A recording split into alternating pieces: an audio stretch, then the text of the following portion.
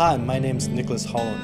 I've been in the structural pest control industry for over 12 years. We've been approached by Silk Impressions to investigate something that is considered common knowledge in Asia, whether or not bedbugs are more attracted to downfill or to mulberry silk fill. The question is, does mulberry silk repel or discourage bedbug activity in comparison to down?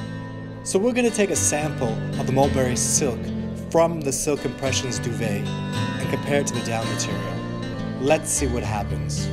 In our experiment today, we have the downfill product, our bedbug sample, and the mulberry silk from the Silk Impressions duvet. So we're going to release the bedbugs and see what happens. At the moment, we're at the 10 minute point. Currently, there is one bedbug in the down product, and there are no bedbugs in the mulberry silk.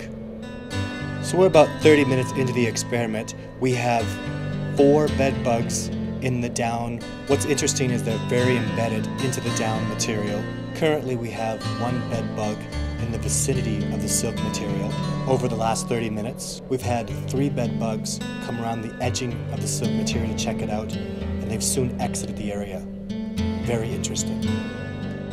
After today's experiment, we can clearly see that the bed bugs are less attracted to the mulberry silk over the down fill product.